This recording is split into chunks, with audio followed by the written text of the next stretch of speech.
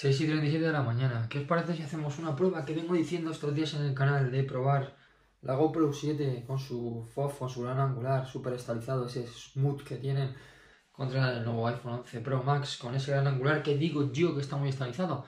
Vamos a ver cuáles son las diferencias reales, ¿no? Venga, vamos.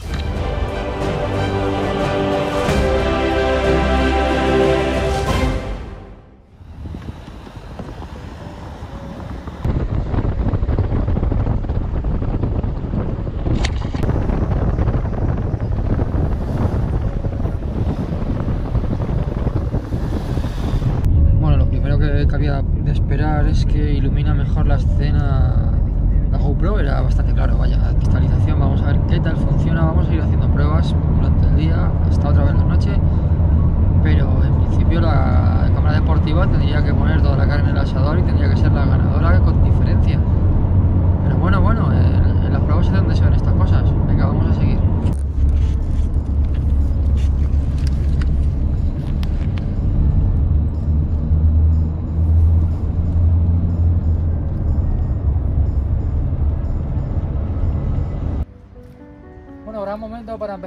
Gran angular de ambas cámaras. Si he usado el iPhone 11 Pro Max y la GoPro 7, es justo por ese detalle, porque son 120 grados con 12-13 milímetros de amplitud y vamos a ver qué tal funciona la estabilización y si el iPhone podría convertirse en una cámara de deporte.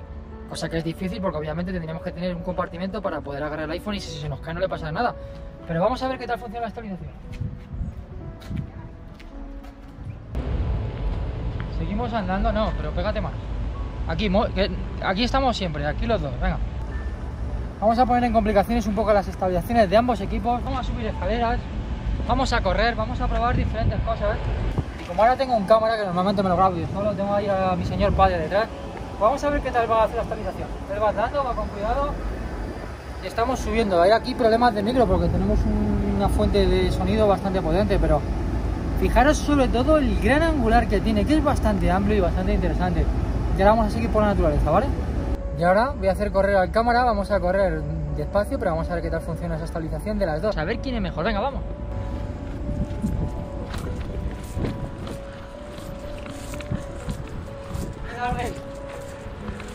¿Va funcionando bien o no? Sí. No, pero era, era yo el que hablaba, vale, a ver. Bueno, pues básicamente ya estáis viendo que lo que conlleva un gran angular es que tenemos una gran parte de pantalla para poder pegarnos esas, esos caprichos a la hora de querer enfocar. O sea, estamos en un paisaje y si os dais cuenta, todo lo que puedo coger es bastante interesante. ¿Qué tiene de bueno? Pues que para estabilizar con un poquito de recorte, un poquito de recorte y de manera digital podemos establecer un plano muy, muy, muy parado, o sea, muy como si llevásemos un gimbal en la mano.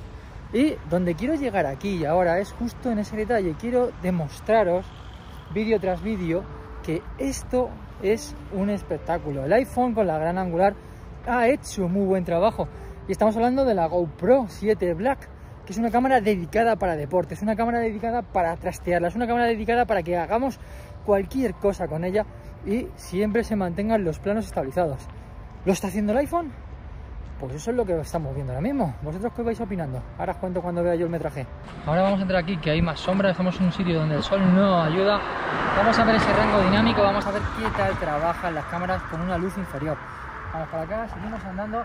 Y como veis en la zona, es una zona que los, propios árboles hacen que el sol no llegue aquí con la potencia. Ahí los edificios proyectan sombra, los árboles proyectan sombra. Vamos a avanzar por allí y vamos a ver hasta qué punto nos va aguantando. Estoy contento con los resultados. Ambos tienen un HDR activo que funciona muy bien, ya habéis visto en los cielos. Quizás lo disimula mejor el iPhone. Es algo que podemos contar, pero no sabremos hasta qué punto llegan hasta que prueben este vídeo. Bueno, como he podido ver en estas pruebas, eh, aunque tenemos una luz más baja, que no es una luz baja, realmente simplemente el sol está escondido, no es suficiente ni por asomo para poner complicaciones a ninguno de los dos sensores. Los dos se han portado estupendamente sin ningún tipo de problema. Buena reproducción de color, buena colorometría, o sea, la colorometría está yendo muy bien. El HDR real, en tiempo real, lo hace muy bien. De hecho, si apuntamos hacia arriba, vemos cómo el cielo está azul. Insisto, el color del iPhone parece ser como siempre más logrado. El HDR, el color que ha hecho Apple, está fuera de toda duda. Es un trabajo espectacular. Y hay que decirlo, el problema será para la noche. Obviamente, el sensor del gran angular es menos luminoso y ahí es donde vamos a notar muchísimo las carencias de este iPhone contra la GoPro. Aunque las diferencias tampoco serán muy grandes. Mira que estoy en el plano, estoy en el plano. No, No, pero apunta para arriba un poco. ahora. Pero ponte tú. No, no, pero Vale. déjalo, déjalo así, déjalo así. Para que tú puedas correr normal. Venga. ¿Vale? Vamos a hacer otra prueba a nivel casi de suelo para ver qué tal estabiliza en condiciones un poco más incómodas. Venga, vamos a por ello.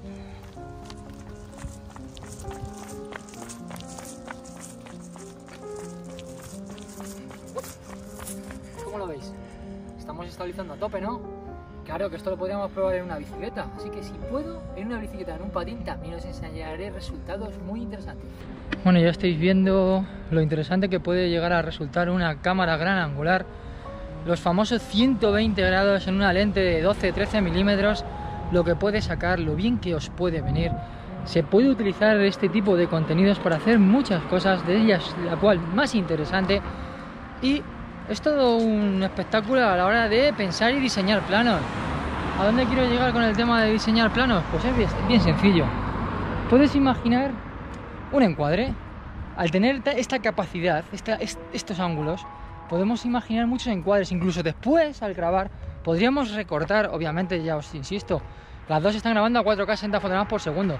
Si queremos hacer un encuadre y cortar lo suficiente, tendríamos que bajar la resolución a 1920. Pero nos podría servir para hacer algún tipo de encuadre bastante interesante. Obviamente no se pueden hacer las cosas que se hacen con las cámaras de 360 grados, pero sí que puede llegar a ser interesante y más cuando da esta capacidad, esta calidad y esta estabilización. Durante el día es fantástico. El gran angular se puede usar. ¿Aceptamos barco para que es la cámara del iPhone en gran angular sea cámara deportiva? Hombre, si queréis llevaros a, y poneros en un casco un iPhone y a la primera de cambio estrellaros, creo que la hostia que se puede el iPhone no se la da la GoPro.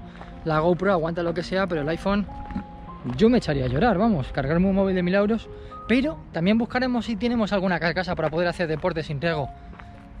Seguimos.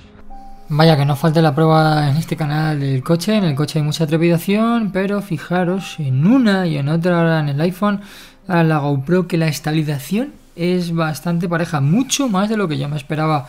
Y cuando digo pareja es que parece que fuesen sensores gemelos, capacidades gemelas.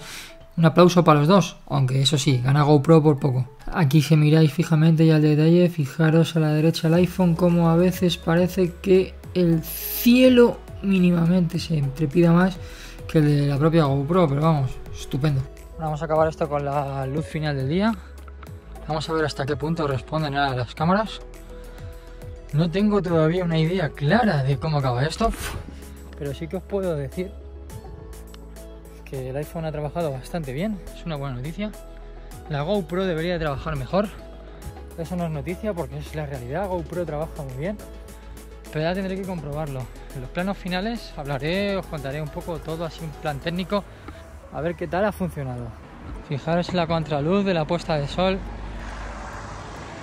cómo lo recogen ambos. Esto es HDR en estado puro.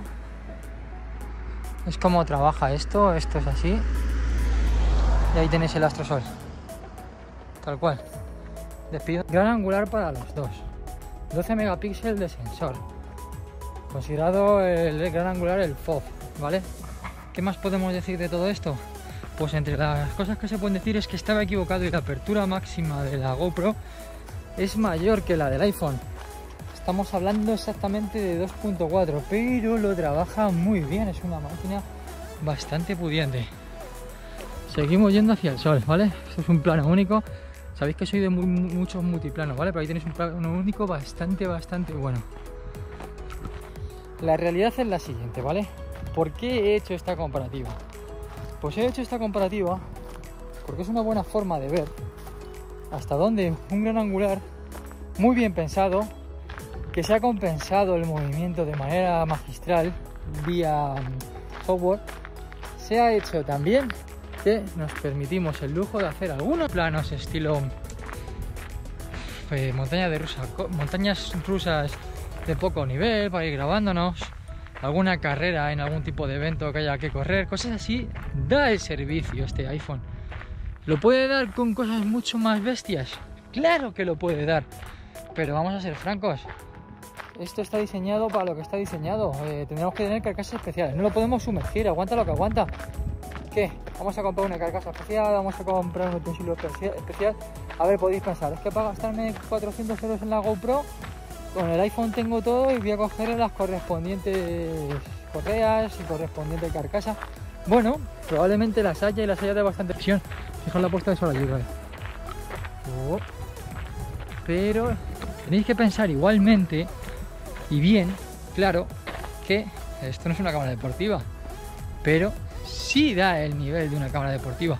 Ahora lo veréis plano por plano. Ya estamos, acordaros de la última comparación si la visteis, si no tenéis la pestaña por ahí, del Samsung Galaxy S10, Samsung Galaxy Note 10 Plus contra el iPhone. Aquí en esta, justo en esta altura, estaba la cosa bastante complicado para el Note. El iPhone lo sacaba bastante mejor.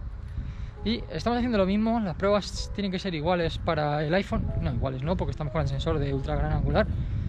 Y se tiene que ver la carencia, tiene que salir ruido, pero ¿cuál de los dos está gestionando mejor el ruido? Pues como ahora no lo veo, en este vídeo me dejar todo por el final, pero vosotros podéis comentar qué creéis, lo de siempre. Que yo diga una cosa, obviamente tengo los tecnicismos, tengo que he probado 100.000 cámaras, he probado 100.000 tipos de archivos, sé de lo que hablo, obviamente me puedo cambiar, me puedo equivocar ligeramente, pero ya de ahí a que me llamáis fanboy, mira, en el último vídeo estabais con el tema de es que Dan, es que se te nota que eres de Apple. Que llevo un Note 10 en el bolsillo normalmente, que el iPhone lo uso porque le tengo en, mi ecosistema normal. Pero que normalmente el teléfono que suelo sacar a casa normalmente es el Note o el Huawei. Esto es una puesta de sol a lo Dan Hunter, aquí tenéis la puesta de sol, a mí me tenéis aquí. Y estamos acabando con esta comparativa, ¿vale? Mucho más de sí. Cuando nos quedemos sin el sol veremos las carencias de ambos. No son máquinas hechas para trabajar en entornos con poca luz. Una vez que la noche se haga, vamos a ver problemas de muchas índoles, entre ellas un excesivo ruido.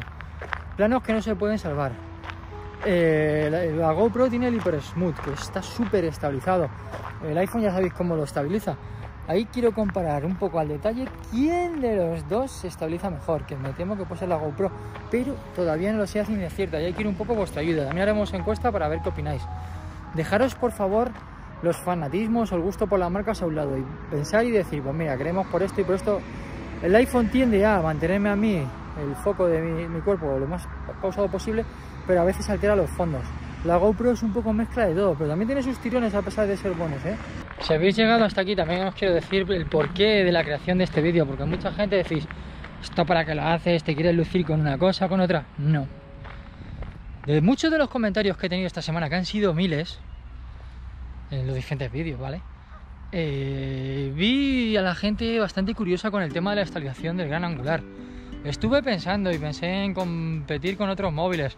No había muchas opciones en el mercado que fueran equivalentes a lo que el iPhone da ahora mismo. Por cierto, lo tengo con la contraluz aposta. Yo estaría oscuro, pero como no me veo. Y pensé, la GoPro, la GoPro Hero 7, porque el Osmo Pocket que le tengo también por ahí no me vale, porque ya de por sí es muy corto. Se hace un factor recorte bastante grande. Dije, es perfecto. Tienen prácticamente los mismos grados, 120, 130 grados. Tiene 120, 130 grados de, ángulo de visión. Así que bastante interesante. Las dos tienen sensores del mismo tamaño. Es más luminoso el iPhone, curiosamente. Pero creo que se va a resentir más eh, el iPhone que la GoPro en cuanto a temas de ruido y tal. No estoy vendiendo el iPhone como cámara deportiva. Quitarlo de la cabeza. Probablemente en el título lo haya llamado algo así para llamar vuestra atención. El famoso clickbait pero no es un clickbait en toda regla. El iPhone hace lo que hace. Es pudiente en todo. Puede hacer cosas muy chulas relacionadas con lo audiovisual. Es muy bueno grabando vídeo y lo demuestra. La cámara da unos resultados estupendos, pero eso no significa que la podamos usar de cámara deportiva porque sería una locura por nuestra parte. Si hay adaptadores, si hay fundas, si hay carcasas y tal para hacerlo, por poder se puede hacer. Pensar varias cosas. Tenéis más duración de batería, eso es bueno. El procesador es infinitamente más potente, eso es bueno. Y podéis pasar las cosas en el momento. Pero, ¿estáis dispuestos a arriesgar un teléfono que el mínimo en el Pro son 1200 o luego en el iPhone normal que son 800 euros por tener una cámara deportiva que a priori no da las capacidades que sí tiene la cámara deportiva del GoPro? pues eso ya lo dejo a vosotros. ¿Vosotros qué opináis? Como siempre, siempre lo digo. ¿Cuál usaríais? Eh, ¿Tendríais eh, la voluntad de usar el iPhone o la GoPro sin pensarlo? Bueno, el sol ya se acaba, cada uno interpreta como puede ese cielo final en CHDR a tiempo real. Hacen lo que pueden, están luchando por mantener el ruido estable. Mi cara de momento funciona bien, pero en cuanto caiga la luz, veremos problemas. ¿Quién tendrá más problemas? Yo creo que el iPhone va a tener bastante más problemas, pero estamos en directo. Bueno, a veces siempre llevamos las cosas al límite que me estoy quedando sin material la GoPro, así que os dejo este paisaje. Vamos a terminar aquí la parte de grabaciones. Habrá un continuará, os voy a dejar con las dudas de qué tal la noche, por lo menos la noche cerrada con menos luz. Ya tenemos bastante poca luz, le queda muy poco al sol, pero lo veremos en otros vídeos. De todas formas por redes sociales, si lo queréis ver, os dejaré algún clip de prueba. ¿Qué pasa la gente y, y dicen, ¿y este loco dónde está mirando? Ya sabéis, ¿no? Sobre todo la gente que dedicáis a crear, a contenidos. No es que me dé vergüenza, pero lo que hay. Resumen final en un minuto. La estabilización. Esa lucha de estabilización no está tan separada como pensaba. Sí que es cierto que analizándolo píxel por píxel podemos ver que la GoPro puede estabilizar quizás un poquito más, pero es tan tan inapreciable que por mucho que os digan que la GoPro tiene el mejor estabilizador digital del mercado, no es así porque tiene rivales como el iPhone que le pueden dar de igual a igual a tú a tú y hay muchos más que lo hacen, ¿vale? Pero aún así los dos lo hacen excelentemente bien. Otra de las cosas es que se nota la, el buen trabajo del balance de blancos, en este caso de la GoPro, que estoy muy contento, ha dejado unos planazos increíbles, ¿vale? Sin embargo, el iPhone en muchos momentos es más nítido y eso se agradece muchísimo. Sea como fuere, en esta comparativa ha sido un gran rival uno del otro y cualquiera os podría valer. Pero quiero dejar una cosa súper clara antes de cerrar el vídeo y esta cosa súper clara es que el iPhone es un smartphone que tiene una de las mejores cámaras del mercado, pero no es una cámara deportiva, ni se ha diseñado para tal, ni valdría para tal porque le puedes dar una hostia, una única hostia y cargártelo, romper la pantalla, cosa que la GoPro absorbería con probablemente casi todas las veces hostias muy, muy peligrosas. Si os ha gustado el vídeo, dale like, compartir, suscribiros y nos vemos muy pronto.